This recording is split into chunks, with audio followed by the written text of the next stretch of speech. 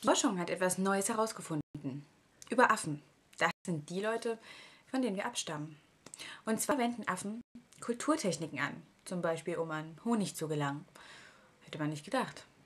Sie gehen also nicht von Blüte zu Blüte und sammeln den Nektar, sondern sie lassen die Arbeit die Bienen machen und holen sich dann den Honig von denen. Das ist erstaunlich. Ähnliches kenne ich nur von meinem begifteten Mitbewohner, wenn er mein Nutella gelangen will. Und übrigens, da benutzt er sogar einen Löffel.